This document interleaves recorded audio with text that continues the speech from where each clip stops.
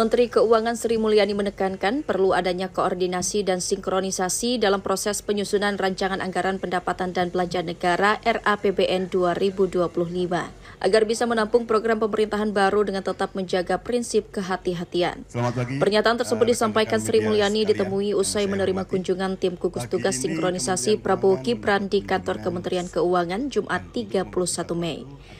Sri menilai sinkronisasi anggaran 2025 penting karena akan terjadi peralihan pemerintah.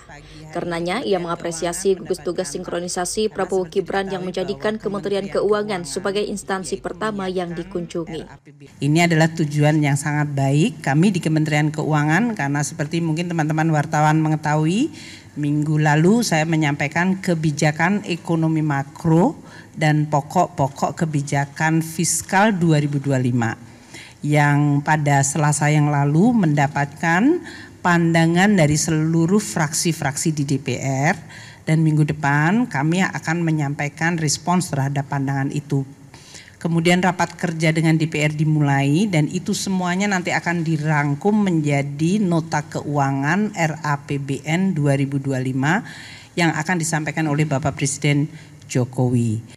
Wakil Ketua Tim Tugas Sinkronisasi Ahmad Muzani berharap proses sinkronisasi ini dapat berjalan dengan baik dan nantinya bisa menjadi acuan untuk merumuskan kebijakan-kebijakan pada pemerintahan Prabowo Gibran di masa yang akan datang.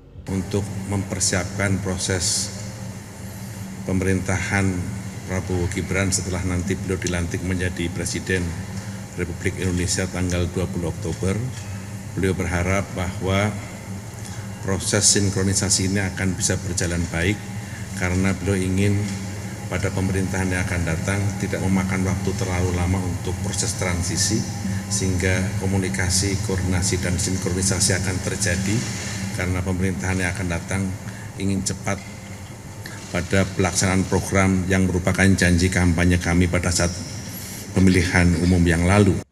Muzani menambahkan tim gugus tugas sinkronisasi akan dikomandoi oleh Sufmi Dasko Ahmad dan Tommy Jiwandono sebagai anggota yang membidangi tentang ekonomi dan keuangan. Dari Jakarta, Pradana Putra Tampi, kantor berita antara mewartakan.